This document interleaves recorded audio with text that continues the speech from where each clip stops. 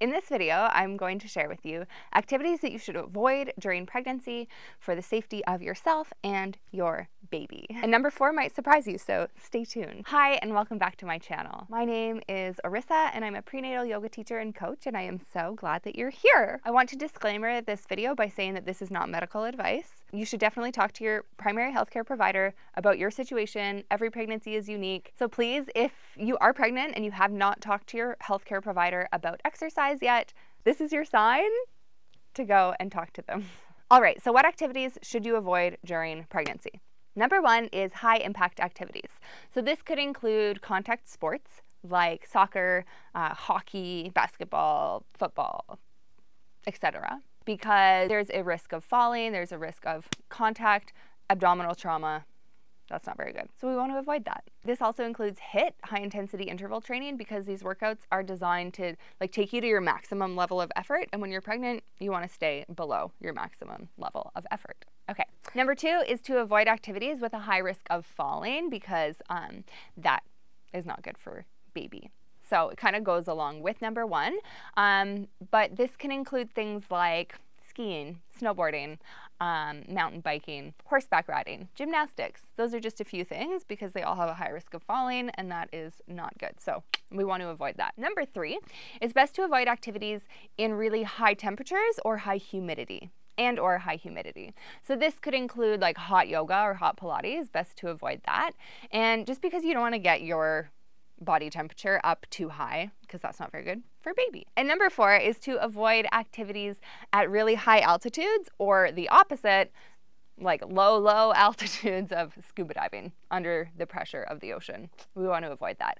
Um, high altitudes, decreased levels of oxygen means less oxygen for baby, no good. So it's like above I don't know, 2,500 meters or 8,000 feet, something like that. But again, talk to your healthcare provider and just avoid exercising at really high altitudes. Now, does this mean that exercise is bad during pregnancy or that you should avoid it altogether? Absolutely not. No, this is not what this means. Once you've been cleared by your doctor or healthcare provider, Regular exercise during pregnancy has a ton of benefits for you and baby and can be so, so, so beneficial. Um, so many benefits that I might have to make another video about it. So I'm not going to get into all of them today, but once you've been cleared for exercise, like it is really, really good. So those are the main activities that you should avoid during pregnancy.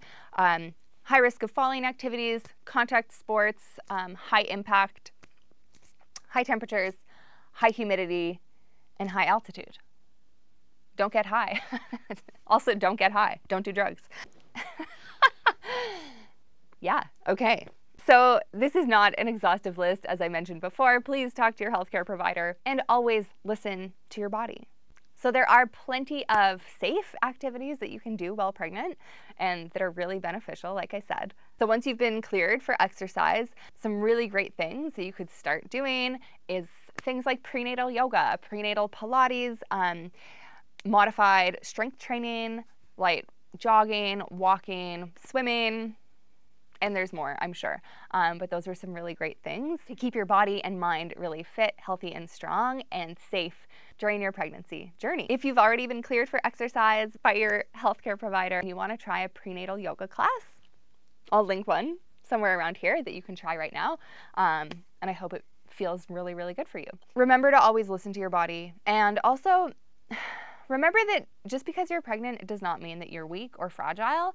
In fact, you are strong and you are powerful. You are growing life. And if you need to take rest, take rest. Please take rest. Like, there's so much happening beneath the surface right now, unseen. So much is happening. So, if you're feeling tired or fatigued and you're like, exercise, are you kidding me, Orissa? I can't even get out of bed. Well, that's okay. That's okay. That is okay. What a journey. Every pregnancy is unique. Be on your journey and um, try to be unattached to how you think it should be and how it should look and just enjoy your experience of it. Food for thought. If you found this video helpful, please remember to give it a thumbs up and subscribe to my channel for more content around pregnancy, yoga, mindfulness, and healthy living. Drop a comment below if you have an idea for a future video that you want me to do. And that's it. Have a beautiful day. Stay healthy, stay strong, stay safe, You are amazing. I'll see you soon.